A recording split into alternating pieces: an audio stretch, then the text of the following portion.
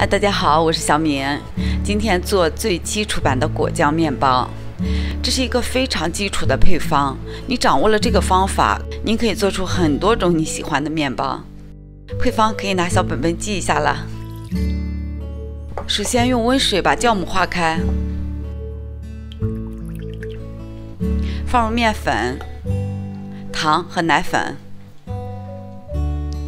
搅拌一下。用手揉的过程，你能感觉到这是一个非常软的面团。手稍微揉一下，没有干粉便可以了，不需要揉到光滑。然后让它松弛二十分钟，这是一个让面筋自溶的过程。二十分钟后，像这样慢慢的把它拉开，把盐和黄油包进去。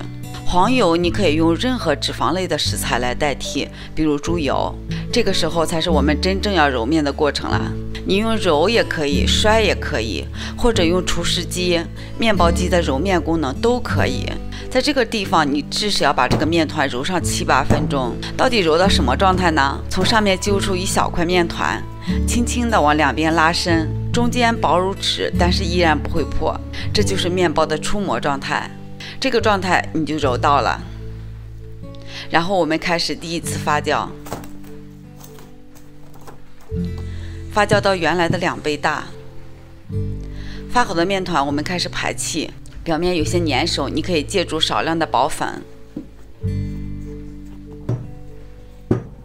拿出来继续给它排气。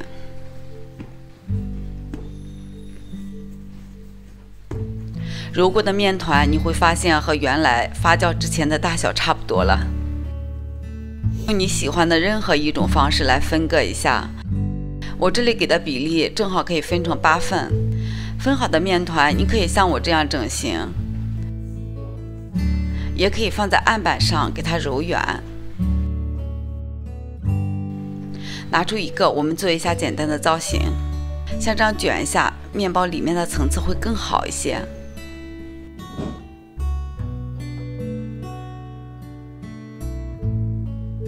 我们再来一个放果酱的卷进去。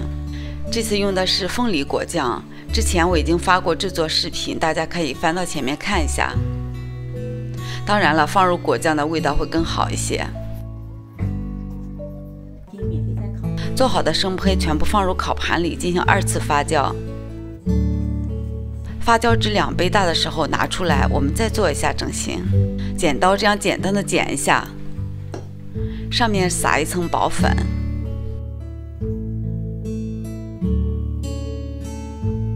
放入烤盘的底层，一百八十度上下火烤三十分钟。面包的造型根据个人的喜欢来做，你也可以不做，两次发酵后直接烤就可以。